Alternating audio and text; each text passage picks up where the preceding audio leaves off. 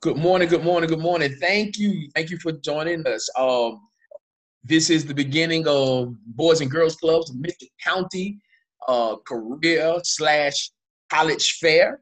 And um, we are blessed for to be joined today by um, just a wonderful, wonderful, wonderful person, uh, very knowledgeable uh, about education and all things as such. Um, Ms. Larkin, uh, she's the founder of 3L Educational Consulting LLC and uh, middle grade and middle grade uh, educator at Baconton Community Charter School, where my son graduated from. Baconton Blazer, go Blazers. No um, and uh, specifically, she focused on the college readiness process by way of empowering students and family by integrate, integrating a multifaceted hands-on approach for the 21st century learners, which we need at this time. So, Ms. Larkin, listen, I'm gonna let you take it over, and um, and I want you to go ahead and give us what you got. Okay, no problem. Thank you again, sir, for this opportunity. And uh, again, I, I have a heart for the Boys and Girls Club.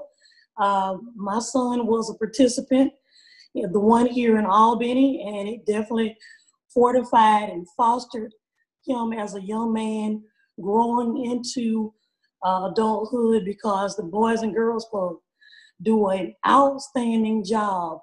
And sometimes they have a thankless job because there are the they are the gatekeepers who who make that transition from young people leaving from their school and waiting on their parents to get off of work. So they're more than a babysitter. They are the ones who literally are the first line of defense to protect our children in our community. So hats always have always went to the Boys and Girls Club of America. And uh, so today we're going to talk about um, how young people need to think about what they're going to do with their life when it comes to furthering their education into higher education. So the first question I always ask young people this. If the job that you want to do or the career that you want to pursue, does it require for you to go to college? And if the answer is yes, we're here to, to serve you. Even if the answer is no, we still can serve you because the key is skills and education because as our community, we need everything the skill set as far as as well as the education. So the first question is, what do I want to do? What do I want to major in? So that's your what. How much time is it going to take? Do I need to go on to advanced uh, college to get this skill? You know, so that's the first question. What do I want to do? And what is it going to take for me to gain that training and education? That's question one. What I want to major in. Second question is where do I, do I want to pursue this? Am I going to go to school in my local community? Am I going to go to a community college? Am I going to go to a regional school, something within my county area, 14, 15 county area? That's what we call regional colleges. Or do I want to pursue this major university. So where your what your where is makes a big difference on how much is going to cost. And that is the third question, the cost. How much is it going to cost for you to receive the education and training for what you want to do? Okay? The first line of defense that I always tell students to do this is go to your parents, mom, dad, grandma, whoever is responsible for you, and ask them this fundamental question. Do I have money? Say, have you put aside money for me, for me to pursue what I want to do? Do we have a 527 or 529 or some type of college funds? And some people say, well, are, are most kids going to know that question? Well, here's the thing that we have to do as a community we have to teach our kids what questions to ask. You know, I help parents all the time when they're trying to figure out what's the best school for them. When they used to go on the tours before the pandemic happened, some parents don't know what specific questions to ask. And that's why we do what we what we do is to specifically drill down on what you need to know. So again, start with your family resources first. Do we have money set aside? Did grandmama or granddaddy leave me an inheritance where we can add on to it? Or here's another thing that a lot of parents also do. If you own a home, you can start taking equity out of that home in order to finance your child's college education. A lot of parents who have their own home or who have access are able to do that. Okay? So it's all about, as you can see, is back to resources. And so that's where the majority of what I do in my business, what we focus on are the actual resources. So once you've had that question, that, that, that question answered by your parents, whether you're going to take equity out of your home or there was some type of uh, savings put aside for your education. And then we start have to start looking at the types of financial aid. But before we get to that, there is a clearinghouse in which most students have to do prior to starting college. It's called the FAFSA. And this is a form that is really not complicated, but it can be complicated if you've never done it before. So we assist families completing the FAFSA. A lot of the a lot of the school, high schools, if your counselor has the time, most of the time they probably don't, but uh, some schools offer workshops in order for you, for the student to do their part, and the parent have to do their part. And basically, it's a clearinghouse and look at your income and your resources to see how much money you're eligible for. Okay? So that's very important to get that done and to get it done on time. And some people say, well, what, what do you mean by on time? You know, if you're going to school, you know, you just fill it out. But people have to understand all colleges have to adhere to deadlines for their institution and for the federal government. And then also, let me add this snippet here. With the federal government and this economic crisis that we're constantly facing, a lot of funds that students were used to getting from the government may not be available over the next few years. So that's why what I'm doing is so important is to encourage kids when they're in their 10th grade year, 11th grade year, really focus on your academics because that academics may be how you're able to literally get through college with little to no debt. Okay? Um, let me throw out a very jarring statistic. And I'm really not a statistic person, but most African American students leave college. And what I mean by most, 86.2% of African American students leave college borrowing money. And that doesn't necessarily mean they actually leave with a degree. We're just saying they're leaving bar in that much debt, 86%, compared to non-black college students, only 52%.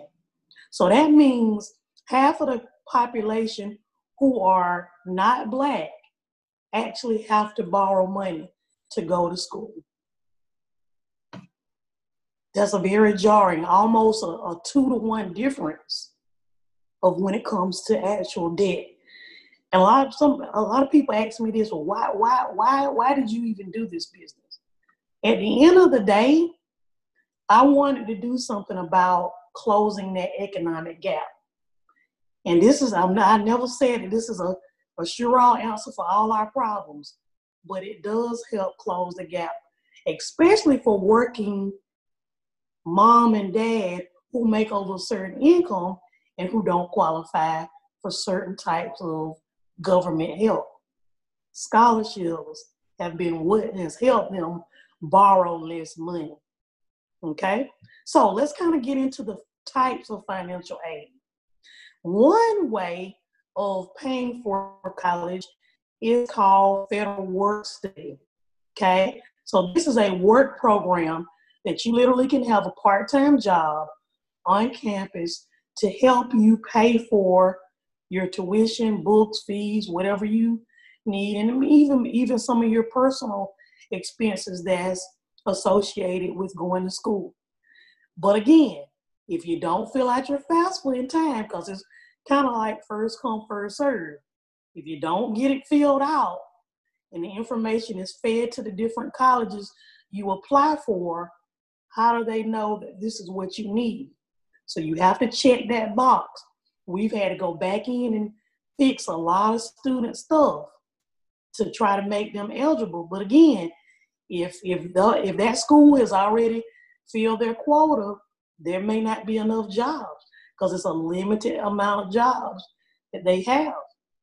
Okay, so again, second form of financial aid are grants, and everybody pretty much has had heard of the Pell grants. This this is money that comes from the federal government that you do not pay back. This is what they call free money. Here's a, here's the other notion. But are all students eligible for it? No. If your parents make over a certain amount of money, you are not eligible for Pell Grants. Okay? And so there are other grants that depends on what state that you live in that you may be eligible for. So when you hear the word grant, again, those are monies that comes from the government, whether it's state or federal, that does not have to be paid. Okay, and the Pell uh, grant limit is a little over seven thousand dollars, and what schools basically do is take that little seven. If you're eligible for that much, they take that amount and they divide it over your two academic semesters. Okay, so depending on the cost of your school, you know that may be enough money. It may not be enough money. So it all depends on what you're eligible for. Okay? And then the third form of financial aid is called loans. Okay? So there can be federal loans that the student is eligible for. And then there are private loans that you also can borrow as well. Those are credit based. Okay? Two types of federal loans. There are uh, subsidized loans which is the government pays the interest of those loans while you're in school. And then the other types are unsubsidized loans. You mean you are responsible for that interest while you're in school. That's the difference between those two loans. Subsidized, government pays that interest. Unsubsidized, you, that's why I started with a you. You are responsible for the interest while you're in school. Okay? And then the last final step of financial of, of financial aid, forms of financial aid, are scholarships. That is the heart of what most people, when they hire me to work for them, those are the services that they're paying for is for our business to help them apply, search and apply for scholarships. Okay, and the and the basis and the um, for scholarships is basically GPA, um, letters of recommendation, um, say, okay, GPA, letters of recommendation, um, community service hours or volunteer hours, and the basis is the essay. Okay, so those are the main components of a scholarship. And all scholarships don't go to just the kid who has a 4.0. We've helped students who have a lower GPA receive scholarships, but they had a lot of community service hours. Okay. So that is the basis of how we help students secure the bag. Okay? All right, so uh, we will talk to you next time. Uh, this is an opportunity for anybody if they have any questions. I'm going to leave a few minutes to kind of open that up. And if not, I will see you again on part two. We'll go Thanks. a little further into the bag. Yes, ma'am. Thank you. Now, before we leave, though, I want I want you to uh, tell us how can we get in contact and how can students and parents get in contact with you um, to to inquire about your service on how to secure the bag for school. Okay. All right. So you can um, reach me. I have a Facebook page. Uh, it's 3L Education Consulting. Uh, the name of the business is 3L Educational Consulting LLC. Uh, we can be reached at 229 291 5458. Again, the uh, email address is 3L Prep Consulting at gmail dot yeah at gmail.com uh, again you can reach me through those means. We're not on uh, any other social media besides facebook. Uh, again because again my full-time job i am an educator. And uh, like i said we've uh, done a lot of workshops and uh, we're available our prices are very very affordable and we work with parents and uh, like I said, this is a great opportunity and just do your best as students. And even during the summer, constantly work on what you need to be aware of. I know it's a little difficult in the pandemic, but it is possible to constantly work on yourself. Any further questions? Thank you, Ms. Larkin. I think that's it. Um, and as she said, we want you guys to really, really stay tuned because we're going to have a part two where she's going to get deeper inside the bag, as she says, to um to to to in, to educate students and parents alike on how to uh, secure that finance, how to secure those finances to to, uh, to go to to go to secondary uh, colleges. And so, um, so we thank you, thank you. You have a great day, and we appreciate you joining the Boys and Girls Clubs of Mitchell County Career College Fair. Thank you. All right. Take care. You too.